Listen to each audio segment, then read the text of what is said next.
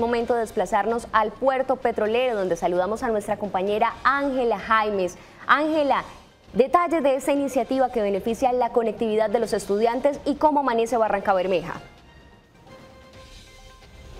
Compañeros en estudio, pues son alrededor de 7.000 los estudiantes de educación pública en Barranca Bermeja que se ven beneficiados con estas SINCAR con el objetivo de que ellos puedan acceder a las tecnologías de la información y la comunicación. Con la tarjeta, los estudiantes contarán con llamadas ilimitadas a cualquier operador, podrán recibir teleclases a través de Microsoft Teams y tendrán una capacidad de 5 GB para navegar en las páginas de Internet educativas definidas por el Ministerio de Educación Nacional.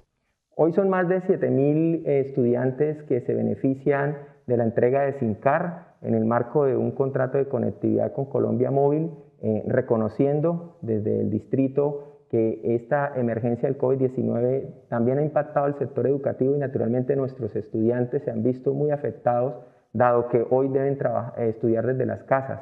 De esta manera, la Administración Distrital hace posible a través del programa Conexión Total del Ministerio de Educación que todos los alumnos de 69 sedes de los colegios públicos, 50 urbanos y 19 rurales puedan conectarse a Internet. Las SINCAR que se están recibiendo hoy y en los días anteriores son de gran beneficio para la comunidad educativa, ya que teníamos un número significativo aproximadamente del 30% de la población que no tiene conectividad y estaban trabajando con guías académicas.